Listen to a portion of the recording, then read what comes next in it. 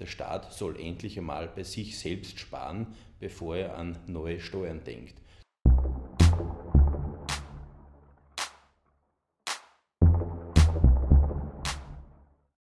Herr Dr. Fuchs, in Österreich trägt die Mittelschicht traditionell eine relativ hohe Steuerlast, während sehr vermögende Personen eher gering besteuert werden.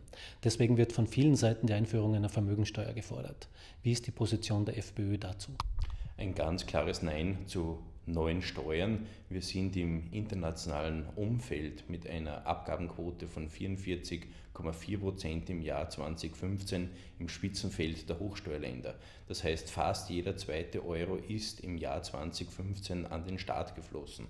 Das heißt, wir haben nicht ein Einnahmenproblem, wir haben ein Ausgabenproblem. Der Staat soll endlich einmal bei sich selbst sparen, bevor er an neue Steuern denkt. Nur durch eine massive Reduktion der Ausgaben können wir den Mittelstand, und ich zähle dazu auch die kleinen und die mittleren Unternehmen, massiv entlasten.